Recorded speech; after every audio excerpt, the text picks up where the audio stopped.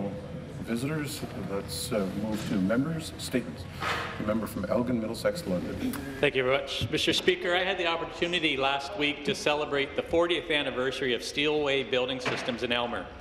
Steelway is a family-owned business created by the late Glenn White and his wife Pat. Today, their sons uh, Jason and Brian run the company.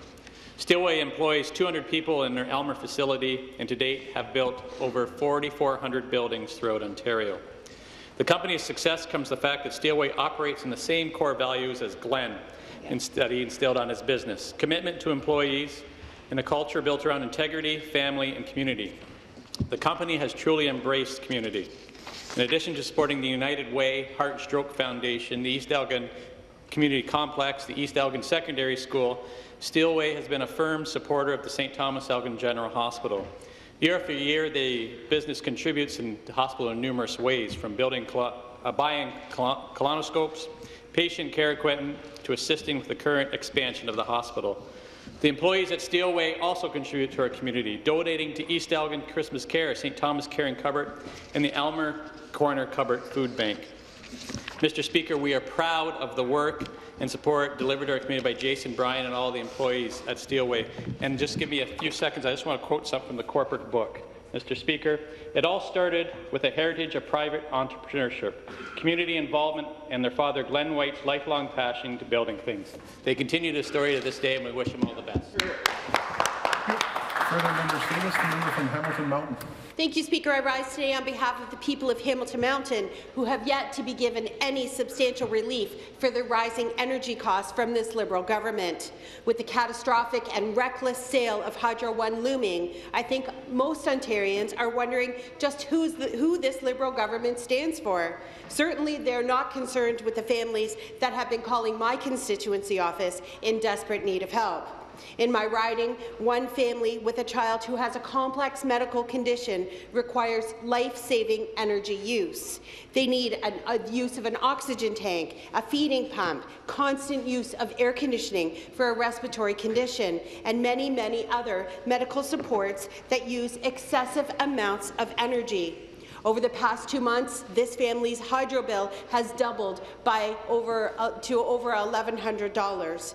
Thanks to the work of my constituency staff, Last week, this family found a bit of relief from our local utility company, but this does absolutely nothing to get them back the thousands of dollars that they have spent on life-saving energy expenditures and the emotional and financial strain that they have experienced. And it does nothing to save them from the inevitable rising costs of hydro that they have yet to face. This Liberal government needs to start caring about the challenges that Ontario families are facing today and stop the sale of Hydro One.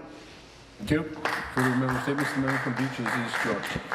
Well, thank you, Speaker. Um, thank you very much earlier for acknowledging my birthday. I saw you mutter under your breath, it's my birthday. And, and I want to talk a little bit something not community related, but related more to me individually. I had a chance this summer to do something extraordinary as a Canadian. I'm very proud to be an Ontarian living in this incredible country, and I took an opportunity to go to the Arctic with my 28-year-old daughter.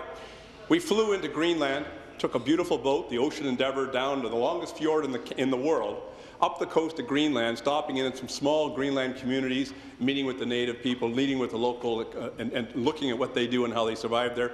And then across the Davis Strait, north of Baffin Island, up near Ellesmere Island. It was the most extraordinary trip. On board the boat, organized by a group called Adventure Canada, there were at least a dozen scientists, biologists, marine biologists, botanists, archaeologists, historians, and we got lessons almost every single day. We got to look at where we were, what we saw, and what we saw was stupendous, Speaker. We saw icebergs like you'd never imagined. We had, in a big boat, maneuver our way around these huge sheets of ice because never before had they ever seen this many ice floes in this area breaking off the face of glaciers in the north. It was absolutely extraordinary. I met, I met an explorer named Jerry Kobalenko, who's personally sledded over 20,000 miles across the Arctic over the last 20 years, a modern-day explorer. And we got to the top of a mountain where Franklin last put a marker and that was, what, three weeks before they discovered the Terror. So this is an adventure. I encourage every one of you to go see the Arctic when you get a chance. It's an extraordinary place, and it'll make you proud to be a Canadian. Thank you. Thank you. Member Stevens, member from Prince Edward Hastings. Uh, thank you very much, Mr. Speaker. Earlier this summer, a resident of Prince Edward Hastings and a very good friend of mine climbed Mount Kilimanjaro. So let me put this, Mr. Speaker, into uh, a bit of context for you. On November 30th of 1992, almost 24 years ago, John Cairns was assembling a freight train at a rail yard here in Toronto. It was a typical day on the job, much like today, big blue sky day. That was until a 68-ton railway car backed over top of him. He lost his right arm, he lost his right leg, and he spent a week or more on life support. He'll tell you that he should have died that day, but he didn't. He'll tell you there were many days during his rehabilitation that he wished he had died, but he didn't. And now the local motivational speaker and philanthropist is focused on inspiring others to the fullest, something he's been doing for years in the Quinte region, across the province, across the country, and now around the world. Last September, John swam across the Bay of Quinte, which is a pretty solid feat for a guy who's a double amputee. This spring, he danced in the Dancing with the Stars Quinte competition, finishing second. His partner, Lisa Vance, was a big part of that. But this past summer, he continued to defy the odds, climbing the tallest mountain in Africa. Following the Kilimanjaro climb, he, wanted to, he said he wanted to give up on the first day. He says, quote, I reached numerous extremes of sheer exhaustion, pushed the physical, mental, and psychological human boundaries that resembled a place where I was fighting for my life 24 years ago. He's also caught the attention of Canada's Walk of Fame, Mr. Speaker. Cairns is going to be receiving the 2016 Peter Soumalias Philanthropic Unsung Hero Award at the Walk of Fame ceremonies next month. Congratulations, John Cairns, for all your accomplishments, and thank you for being such a tremendous inspiration to all of us. Thank you. Hearing member statements, the member from Toronto Danforth. Thank you very much, Speaker. Speaker, the other day, a doctor from Japan, uh, Masanori Hanada, gave a media conference here at Queen's Park along with Chief Simon Fobister of the Grassy Narrows Band. Dr. Hanada reported that in the recent research he'd done Grassy Narrows First Nation and at the Wabaseemoong First Nation, 90% of the people were contaminated with mercury, showed signs of mercury poisoning. Speaker, he noted that young people, people who had not been born when mercury was dumped into the English Wabigoon River system were showing signs of mercury poisoning. Speaker, that alone is shameful enough. But Speaker, earlier this year, this government said it was allocating $300,000 to do immediate work on assessment to pave the way for remediation. My colleague France Gélinas from Nickel Belt asked the Minister of Indigenous Affairs the other day about how much had been spent. Not a single word from that minister about what has been spent. I've heard rumours that almost nothing has been spent, that a year of research has been lost. And the government, which talked so much about reconciliation and respect for First Nations, won't even answer a question as to what they've spent on money they committed for immediate action. That, Speaker, is shameful. Thank you. Further member statements, the member from Mississauga Streetsville. Well, thank you very much, Speaker. Canada has been blessed with the contributions of the Ahmadiyya Muslim community as our friends, our neighbours and our co-workers for 50 years. This week, the members of the Ahmadiyya community celebrated 50 years of building our families, our communities and our country at Mississauga City Hall. For many of those 50 years, I've been fortunate to call members of the community my personal friends. The Ahmadiyya community is based in Pakistan, where its members often have a difficult time with discrimination against them. I was honoured to be the Master of Ceremonies at the anniversary celebration at Mississauga City Hall and to try a few sentences of my best Urdu. Ahmadiyya National President Mr. Lal Khan Malik spoke to the gathering of about 300 people, followed by the head of the Mississauga Jamaat, Mr. Saeed Asan Gardizi. We were joined by Mississauga Mayor Bonnie Crombie and most of the Mississauga City Council. O Canada was sung by a group of children recently arrived from Syria. A representative of the newly arrived Syrian community spoke for a few minutes in Arabic about his community's challenges, about their gratitude to Canadians, and about their gratitude to their Ahmadiyya Muslim sponsors. It was, Speaker, a celebration of what makes Canada unique in this world, and I was proud to be a part of it. Thank you. Thank you. Member Davis, the member from Stormont, Dundas, and South Glengarry. Thank you, Speaker. The residents of Stormont, Dundas, and South Glengarry have built welcoming, generous, caring communities throughout their lifetimes. Recently, this spirit was recognized with the awarding of the prestigious Sovereign Volunteer Medal to two remarkable people in my riding, Ernie Spiller and Sean Adams.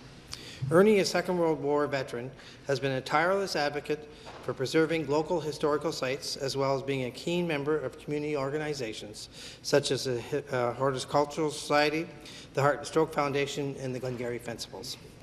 At 92, his volunteer activities show no sign of slowing down. His, he is an inspiration to our community and a driven achiever.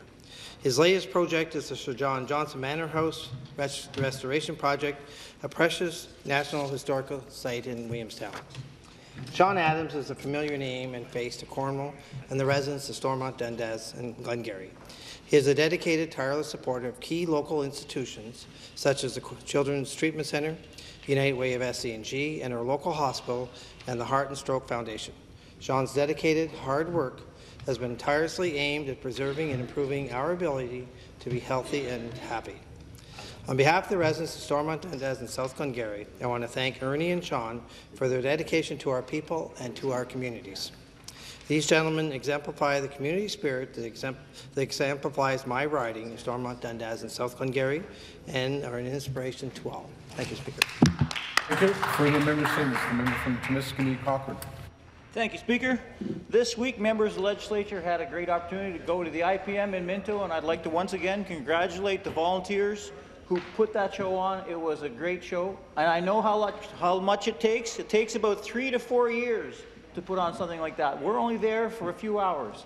And that's why I'd like to invite the people of uh, Ontario, and certainly I hope the members reserve the third week of September in 2019, when the ploughing match will be in West Nipissing.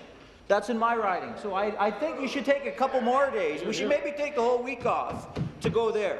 Because there you will also get the Franco-Ontarians, great to talk about because they have a very heavy Franco-Ontarian influence, and I'm sure you are going to enjoy yourselves. I was talking some of the reps at the plowing match in Minto, and they're well along the way for organizing. And I like to give people directions when I tell them to go to Northern Ontario. So to get to the plowing match in uh, West Nipissing, you have two ways. When you go to Barrie, you can go up 11 and turn left at North Bay, or you can go up 400 and turn right on Highway 64, and either way, you will get there. And finally, I would like to thank my colleague, Mike Mantha, because this year we camped out at the plowing match for, uh, actually Mike worked, I camped, but it was Mike's RV, and I'd really like to thank him. That's the only way to truly enjoy the work people put into a plowing match. Thank you, Speaker. Thank you.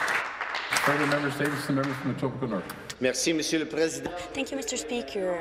I am pleased to inform you and share with you an event that took place in my constituency. Of uh, sharing with you in the chamber some of the remarkable developments uh, that are going on in my own riding of Etobicoke North. I first of all like to salute uh, both current and past ministers of transportation, infrastructure, Ontario. As you will know, there is a multi-billion dollar project underway as we speak to build the light rail transport trains on the on the Finch line, Finch LRT. I estimate that probably a billion two of that is actually coming directly to my own riding. And I have to share with you, Speaker, I'm not going to show you the maps because I know we're not allowed to use props, but it's a magnificent transformation, modernization, uplift, and upgrade to my riding and to the transportation hub. For example, the Finch LRT will actually have eight stops, counted eight within my own riding, starting from Humber College for our students, Westmore, Martin Grove, Albion Road, Stevenson, Kipling, Islington, and just at the border at uh, Weston Road. This promises, Speaker, to not only, as I say, modernize our transportation, but it's an extraordinary boost to my riding, to the people, for their transport, and ultimately for their prosperity. Thank you, Speaker. Thank you. Thank all members for their statements. Now time for reports by committees.